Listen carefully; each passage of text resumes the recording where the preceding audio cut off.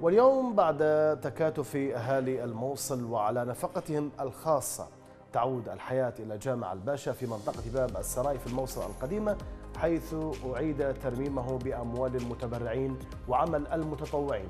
دعونا نشاهد جامع الباشا الذي أعيد افتتاحه مرة أخرى يوم أمس. فلنشاهد.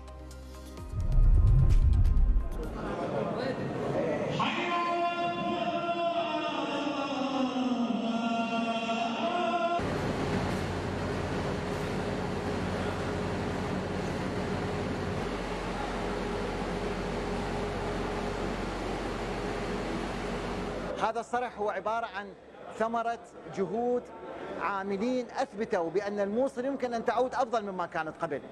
وحقيقة المحسن اللي تحرك على هذا المسجد في البداية حرك أبواب الخير في كثير من الناس.